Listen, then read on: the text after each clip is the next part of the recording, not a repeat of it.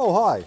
Jason Harris, Managing Director and Auctioneer for Scammell Auctions, for another edition of What's at Scammells. Let's have a look around. Dollars bumping out, dollars my buy. We're going. We're all five. Got now five net buy. I'm 25 dollars down net buy 25. All on the climb at 25 dollars and down.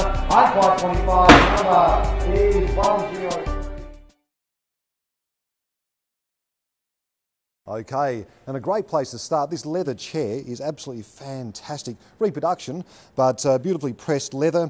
A really nice hall chair, this one. So let's go over this side. This is Old World Charm or the like. Uh, lovely setting. Um, these are really, really nice pieces. Uh, six person setting in oak for a smaller dining room or even a kitchen table. Lovely matching sideboard as well, four doors. Um, great piece. This is actually very, very nice. We Look over here. This is a monk's bench. Um, beautifully carved through here with griffins and a central rosette. But what happens here is you move it through, becomes a table as well. Very popular. This one's around about 1920s. The original ones are 15th or 16th century. 1920s. It's a reproduction of it, but beautifully carved as well. So called monks benches. Well, you don't get many of them in anymore. Um, this was quite a special one. Over here we go, and we go uh, into the teak. Actually, lots of teak this week. So teak dressing tables and the uh, sewing tidies, lovely little coffee table as well. Uh, more of the retro antique, including a fabulous uh, lolly jar as well. Uh, that's quite nice. The uh, Noguchi table. Uh, again, this is a clear glass top, but again, very, very nice piece. very suit any retro or mid-century modern setting. Sideboards, lots of sideboards this week. Uh, over these side, these chairs are really nice as well. We'll just have a quick look at these, even though they do need to be reupholstered. Uh, they are a lovely shape uh, in this sort of Clement Meadmore style, but I love the back and the, uh, the comfy back and shape on these. Upholstered, these won't be that expensive. Upholstered, these look an absolute cracker. Lots of teak in, as I said this week. Over this side, uh, the teak stools, lovely uh, set of four stools. Again, these are upping in price every single week. Uh, these started off years ago, would get $5 a set. Now we're looking 100 to $200 for a set. The TH Brown ones have gone from about $80 to around about $400 each. Uh, so uh, these are the second tier ones, but again, very good. Over here, Afghan Hound, uh, we've called him Terence. Beats having a garden gnome. Um, he's lovely, doesn't take a lot of feeding or care, it pretty well looks after himself. As I said, more teak these this week. These are also nice as well. These are rosewood, uh, Danish office chairs. Uh, lovely, N- nothing else needs to be done with these. Uh, these are very, very nice pieces, uh, beautiful lines on these. Probably for the pair, around about $300 the pair, but very, very good. More sideboards, uh, both two different styles of more of the buffet style, multi head lamp, uh, always good sellers. A more traditional style, um, not as popular, but still quite a nice piece of teak.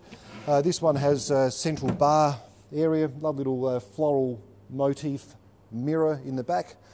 Over for the more traditional antiques. This is really nice as well. Nice big yacht, fiberglass. Um, probably a proper pond yacht uh, given the size of the keel. Uh, again, uh, for the, uh, the man cave or the collectors, very nice piece. This one, as I said, it is a fiberglass one, steerable rudder, a good piece. roll top desk, coming back into popularity finally.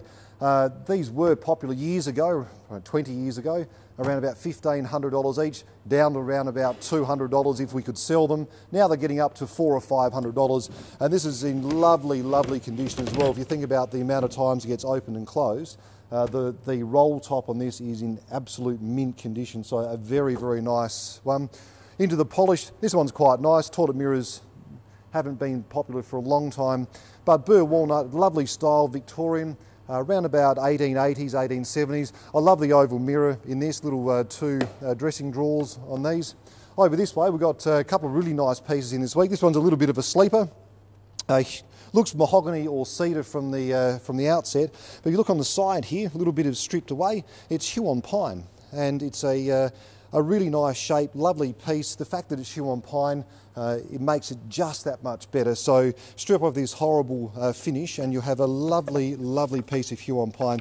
Um, you can't really see it that well, but this will come up a really nice gold colour. Be careful stripping this, uh, go very, very gently, um, but a lovely, lovely piece. Card table, Burl Walnut unfortunately has had the central uh, motif uh, replaced. These uh, do uh, tend to warp and, and um, shred away after a little bit of time. So unfortunately that has been replaced, but lovely figuring through here. This would have been an absolute cracker in its uh, original, uh, its original condition. Open it up and what we call a card or a bridge table. That's what separates a bridge table or a card table from a tea table is the felt. Uh, so really nice piece. The felt's in fabulous condition. I say bring back playing bridge. Uh, LED light lamps, these are Tiffany or Tiffany style, uh, in from China, brand new, but really, really nice. And these are around $300, so cheap lighting. Over this way we go. Lots of tools in this week. We have had a tool bonanza.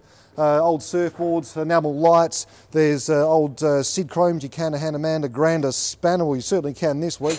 Uh, complete sets, lots of chain, lots of turnbuckles and all sorts. I'm not quite sure why people collect them, but they do. Lots of old tools, uh, including the old uh, methylated spirits boxes. Great planter boxes these. Uh, a lot of people collect these now, uh, as they have done in the past with the uh, petrol and motor oil boxes. Any sort of old stenciled timber doing really well. This is interesting. Early cane basket, I thought it was a reproduction, but actually original one. Um, dated 1889, fabulous old piece, really nice. So we don't know if it's a, a snake basket, so if you've got a flute, then put a python in there and got yourself a Rundle Mall exhibition, probably for about eight minutes before they get rid of you. But over this side, more tools, lots and lots of tools this week. Uh, some good, uh, crazy old axes, including lovely little uh, tomahawk and machete. Lovely tools. Uh, they will sell really well this week. So if you're into tools, old carpentry, uh, bring back the uh, the early days, I say, of, of handiworks. nice French cheese board um, or French um, French pastry board. Isn't that right, Pierre? Yes. So over this side, and we'll wrap this up very quickly. Uh, the rest of the uh, the works here, we've got a little bit of vinyl, a little bit of uh, little bit of kitchen work. So that's it from the. Uh, actually, one more thing, which is an absolute uh, absolute perler, a unicycle. I say, yeah, bring back the clown arts unicycle. Let's go with Adrian and see what's in the smalls. Okay, welcome to What's at Scammells in the gallery this week, ladies and gentlemen. We've got a, a large range of China glassware collectibles. Uh, should be a cracking sale this week. A huge range of all sorts of everything. So we'll just go through a few of the cabinets and a few of the items that we do have this week. Uh, we'll start with this cabinet here, Toby. Uh, so we've got a large range of Oriental porcelains. Yes, some of it is damaged, but this sort of thing. Uh, some lovely quality uh, China wares in there. Uh, good Oriental China seems to sell quite well at the moment, which is great. Uh, so great decor. Here we go over this side here. We've got some more Oriental bits and pieces. I'm going to have a horn of some description. Look, the, the things we find at Scammell's, you'd be very surprised actually. Uh, Art Deco, we love the Deco. Uh, the Deco glasswares usually sell quite well. It's a lovely Deco float bowl in the amber glass as well, so uh, a figural float bowl. Don't pop up too often. Let's head this way. Okay, here we go.